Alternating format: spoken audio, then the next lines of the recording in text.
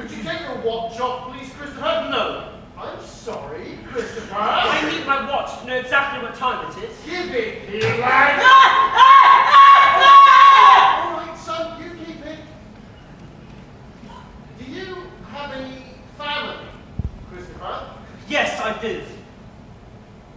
And who is your family? Father and mother, but mother is dead. And also Uncle Terry, who is in Sunderland. He is my father's brother. And my grandparents too, but three of them are dead. And Grandma Burton lives in a home because she has senile dementia and thinks I'm someone on television.